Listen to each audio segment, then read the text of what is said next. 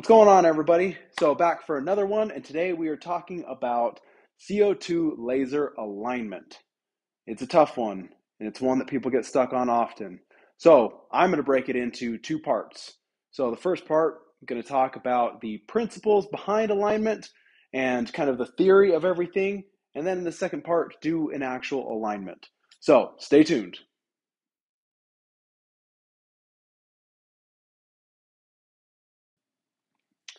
So, first things first, we need to jump into a little bit of terminology.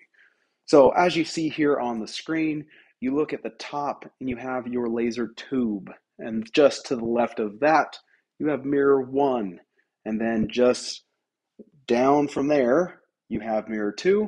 And then there in the center, you can see where the laser head is. So, that is the beam path that you can see there.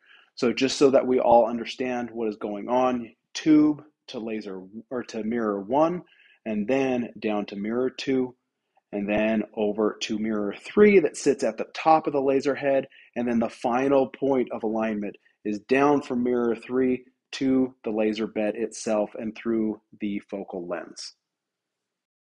So the next part that we need to talk about is the mirrors and how they adjust. So as you can see here from this diagram, your mirrors come and they have kind of an L pattern with the thumb screws that you use. Um, one of the ways that I envision in my brain how this works is when you are screwing one of the thumb screws in, it is pushing the mirror away from that point. When you are unscrewing them, it is bringing the mirror back. So if you take a look at the mirror at the top left, on that bottom left thumb screw, if you screw that mirror or screw that screw in, it's actually going to point the mirror towards the right. If you unscrew it, it's going to point the mirror back to the left. And then if you go to the top screw there, if you screw in that thumb screw, it is going to point the mirror downwards. And then if you unscrew it, it's going to point the mirror upwards.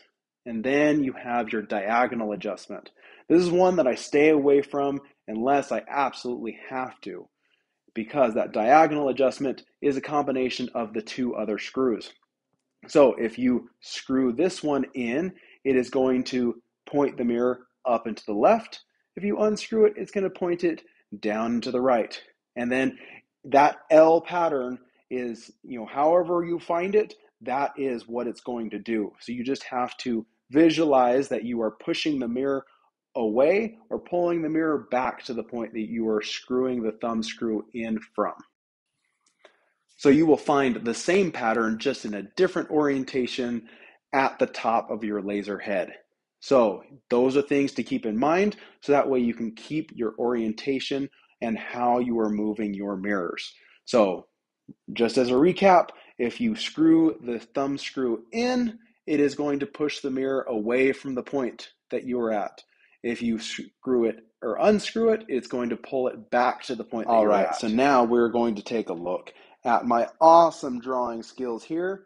So we have our laser tube, mirror one, mirror two, and then mirror three that sits at the top of the laser head and down through the focal lens.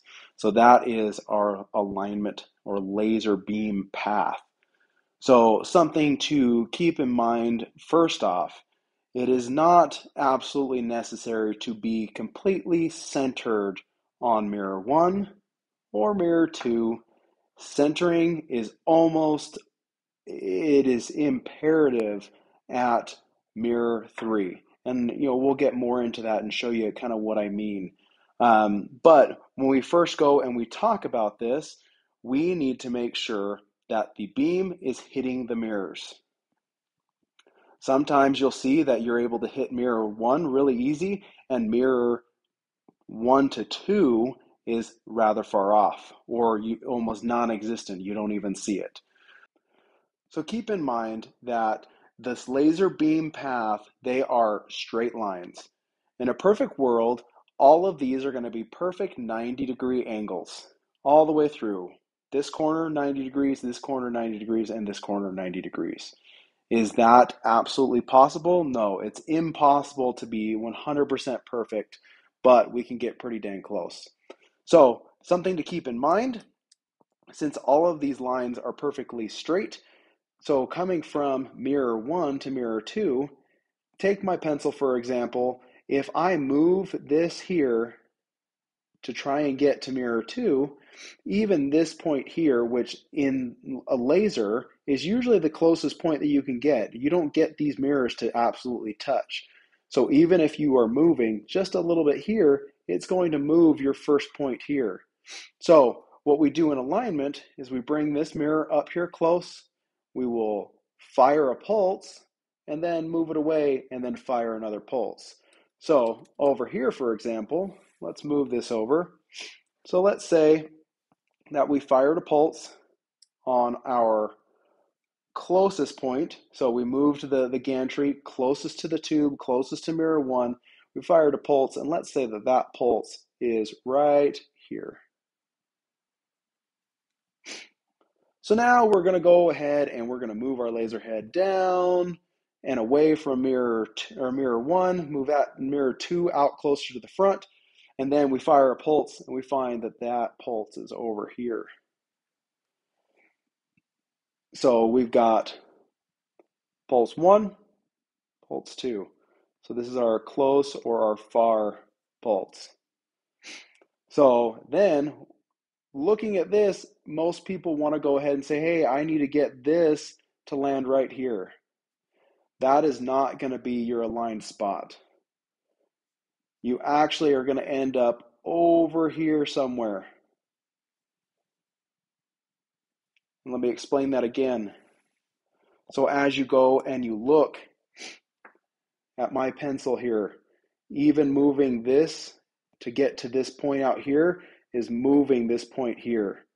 So it is impossible to just go and move this point onto your closer pulse and make it aligned. There's going to be that magic spot that is just past where your first pulse was or where your close pulse was. So keep in mind that that is going to be somewhere just on the other side of that close pulse.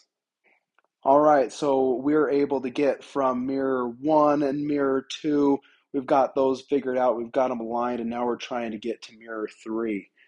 So one of the issues that you have with Mirror 3 is there is a lot of travel for that. So this is the longest point to get to.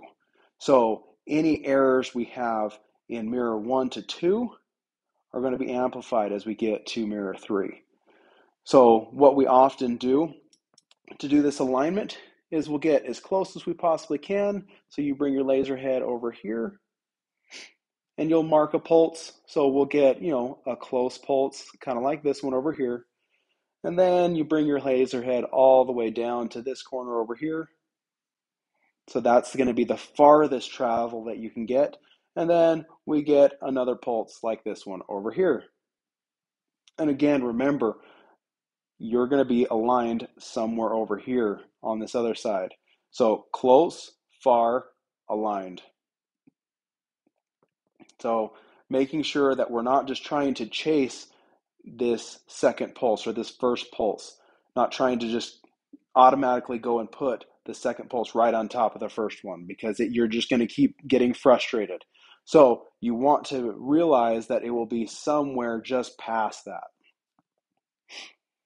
So again, I had said that this is important to be completely centered at that third mirror.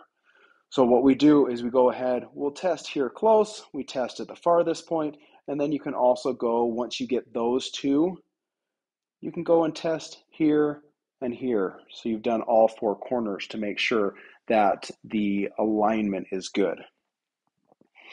So what you may end up finding once you get all of that aligned is that this pulse, so we'll even make a circle here.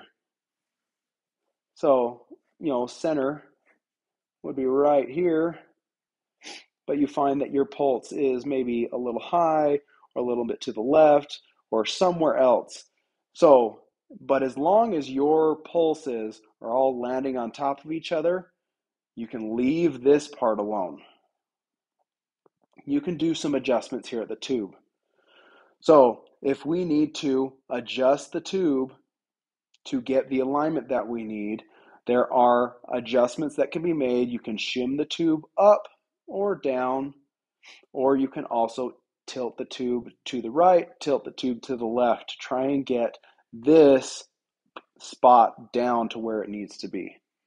Once these mirrors are aligned, they're aligned. We can make further adjustments by making movements with the tube. Okay, so the final part of this whole alignment journey is here at the third mirror. So the goal, trying to get this as centered as possible at this third mirror, is because we want to have as perfect of a 90 degree angle as we can possibly get in here. So that way we're coming down through the laser tube and through the focal lens as dead center as we can possibly get. Because that is going to get us the most power down to our workbed as possible. Even being a millimeter off, even a, uh, you know, a half a millimeter off, can cause drastic decreases in the strength of your laser beam once you hit this point. So often what I start off by doing if I'm doing a traditional alignment and going through just using pulses is I will remove this nozzle, take it off, make sure that the focal lens is out, and then I will put a piece of tape underneath here and then pulse down onto it. You know, make sure that you press up into the nozzle so that we'll be able to see the impression on the tape from the nozzle or from the, the tube and then pulse down into it. This will give you an idea of how centered you are coming down the laser tube or the actual the the laser head tube. So the next thing that you want to do is once you've got this dialed in and you can see that you're very centered as you are marking on that tape, you know, using your adjustment screws and making sure that all happens. You will then put the nozzle back on and then do the same thing. Put a piece of tape over the nozzle and make sure that that pulse is coming out. One of the things that we often see is if you are not getting a perfect little circle pulse straight out of the laser head, you are getting some kind of like half moon shaped like this. It means that you're getting some kind of reflection from inside of either this tube here or the nozzle itself. And so then further alignment is needed to correct that. The way I look at this is I am able to see that there is a half moon shape, and so I want to try and pull this lens or pull, or pull this beam back this way to get it off the nozzle. So the last thing that you can do here to try and test how good of a 90 degree angle you have here at your laser head is to go ahead and put some material down on the laser bed. It could be scrap, whatever it is, and get your laser head in focus. There should be a gauge that came with your machine or something that will get you in the rough ballpark. Get that in focus and then mark a pulse down onto the material. Then what you'll want to do is lower the laser bed and then mark a pulse again. So the goal is your first pulse should be a nice small dot. Then when you lower the laser bed far enough, you start to get a bigger dot. If you can get those to be almost perfectly centered over the top each other, then you have really gotten a true 90 degree angle and you're able to see that that laser beam is going down in a perfect pattern. One thing to keep in mind is sometimes if this is not being done correctly or if it's not being achieved, there could be some tilt to the actual laser head. So one thing to check is that this is actually sitting at a 90 degree to the laser bed itself. So now that you've got your laser all aligned and things are looking great, make sure that you go back and you tighten all the lock nuts on all these thumb screws, on all your mirrors. Make sure that they don't move again. And be careful as you do it, hold onto the thumb screw and then tighten the nut to avoid the mirror moving if all possible. And then, last thing, go through and clean everything. You've been burning up some masking tape and you've made a mess in here. So use some isopropyl alcohol, go in here and clean up mirror one, mirror two, mirror three, and then also the focal lens. Make sure that it is installed correctly. it should be installed belly up, just like that, inside of the laser head. So the beam is actually being received by the belly up side of the lens. All right, everybody. So we've covered a lot of information there, and I hope that it made sense. Um, as you get your hands on things, it will start to make more and more sense, and then you'll become a master of laser alignment. So, on the next video, we're going to go ahead and we're going to go through and do an alignment together. I'm also going to use a tool that I like. It's called the Reverse Alignment Tool from American Photonics, and it's one that really helps to dial in that angle at the laser head to make sure that it's perfect. And so you use a combination of the, the reverse alignment tool and traditional methods to get both the tube and the laser head aligned in a perfect alignment back from the laser head, if that makes sense. Lots of words. But thank you so much for watching. If this video was helpful, please like, subscribe, and stay on for the next one. And then take a look at everything else that I've got going on honestly try to be as super helpful as I can and provide the best content to help you on your laser journey. Thank you so much. See you on the next one.